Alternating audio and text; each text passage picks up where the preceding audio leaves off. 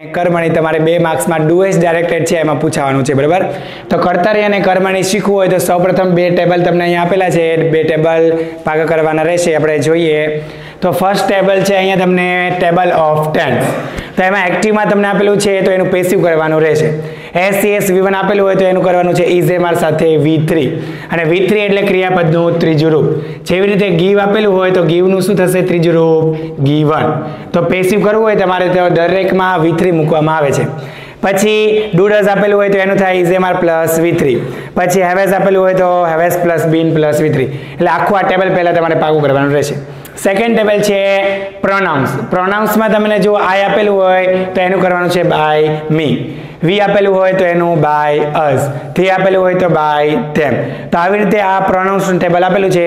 અહીંયા કોઈ પણનું નામ આપેલું હોય, તો એનું શું કરવાનું છે? બાય એની સાથે ને.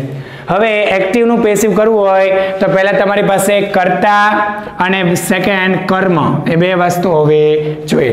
તો કર્તા જે છે, એ વાક્યની શરૂઆતમાં આપેલા હોય એને કહેવા કર્તા કહેવાય છે.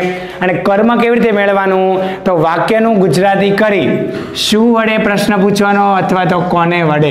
જે જવાબ મળે તેને શું કહેવામાં આવે છે? કર્મ કહેવાય છે.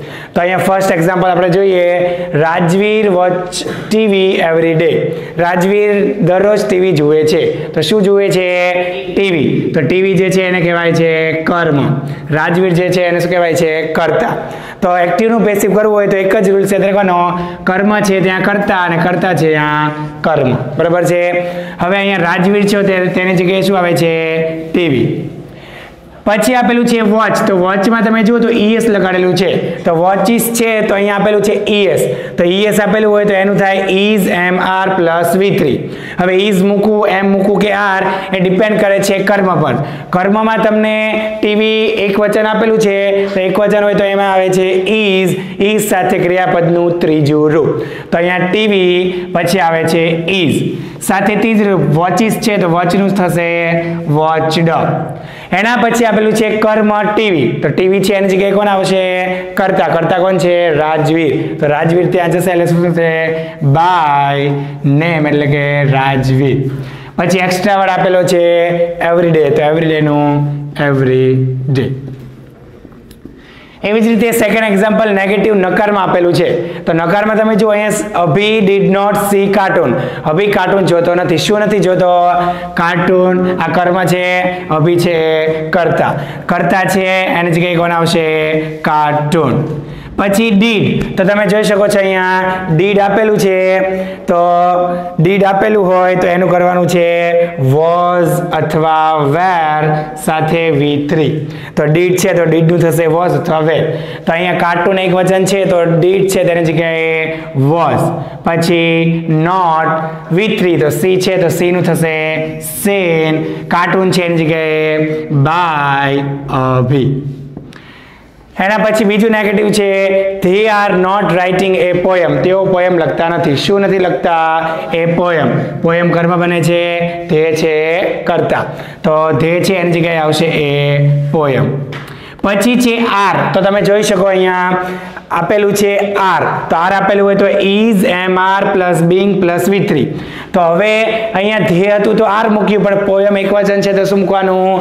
ઇઝ પછી લખવાનું છે નોટ એની સાથે બિંગ સાથે વી થ્રી રાઇટિંગ છે તો રાઇટન અને પોયમ છે તો પોયમ છે એની જગ્યાએ કરતા આવી જશે બાય ધ્યેય છે તો એનું થશે ધેમ અહીંયા ધ્યેય છે તો બાય ધેમ એના પછી સેન્ટેન્સ આવે છે ઇન્ટ્રોગેટિવ સેન્ટેન્સ તો ઇન્ટ્રોગેટિવ પ્રશ્ન છે, એમાં પણ એ જ રૂલ્સ કરતા અને એન અસાઇનમેન્ટ છે કર્મ.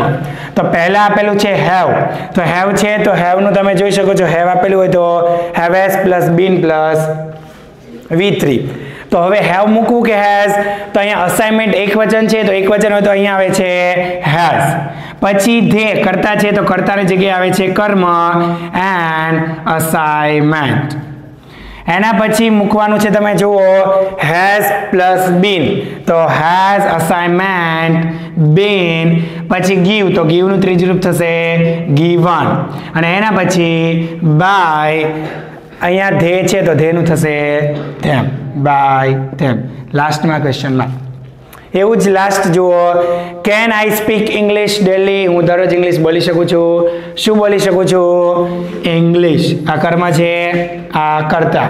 કેન છે, તો કેનનું શું થશે? તો કેન આપેલું હોય, તો કેનનું થશે can plus be plus V three તો કેન છે, તો કેન એમનું એમ. કરતા છે એની જગ્યાએ કર્મ ઇંગ્લિશ એના પછી બી સાથે વી થ્રી સ્પીક છે તો એનું થશે સ્પોકન ઇંગ્લિશ છે એની જગ્યાએ બાય આઈ આપેલું છે તો આઈની જગ્યાએ આવે છે બાય મી ડેલી છે એક્સ્ટ્રાવર્ડ તો ડેલીનું ડેલી તો આવી રીતે કોઈ પણ પોઝિટિવ નેગેટિવ અને ઇન્ટ્રોગેટિવ પ્રશ્ન અથવા કે આપેલા હોય તો એવી રીતે સોલ્વ કરવાનો બે માર્ક્સમાં તમારે પેરેગ્રાફ પૂછાશે. સ્ટોપ